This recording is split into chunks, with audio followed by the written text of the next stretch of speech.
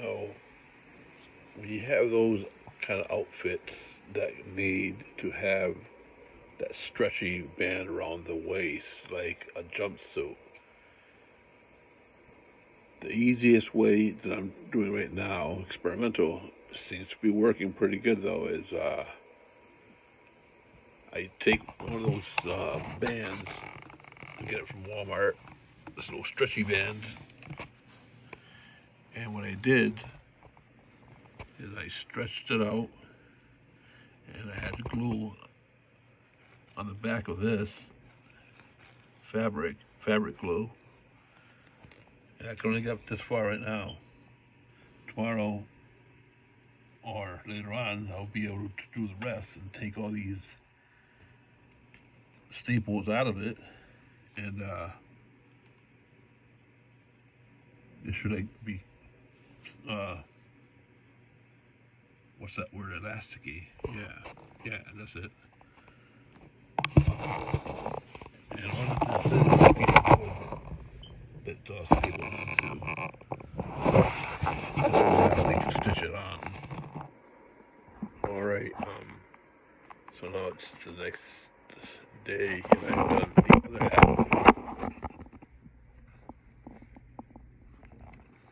This thing. And the original half that I did first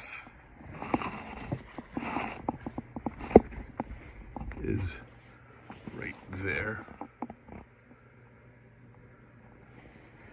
And if you look on the side, you can all see that it has uh, wrinkles on it,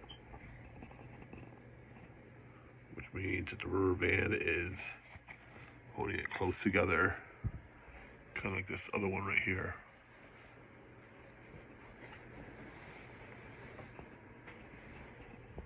You can see that.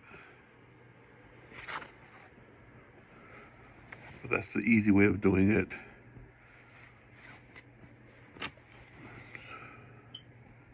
If you don't want to stitch it in by hand or if uh, you don't have a sewing machine or whatnot.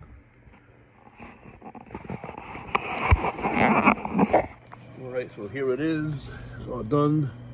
You can see it's all wrinkly and everything in the back here from that uh, rubber band thing being inside there. And I had to like use like a hot um, air gun to get it a little bit softer, you know, because it was like really, really rigid. But as you can see, it's all like stuck in there now. And uh, it does stretch.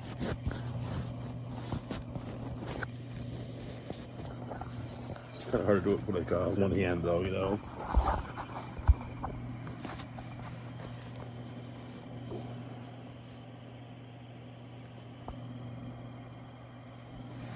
Yeah, so I gotta say I'm happy with it.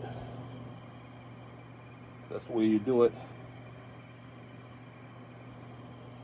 No sewing at all. Just some fabric glue. This stuff right here. Work. Fabric tack. What I use on it. Like I said, I just nailed it up to that piece of wood right there. And uh, did half, did half and now it's awesome and no longer looks like a bag. So that's how you do it, people.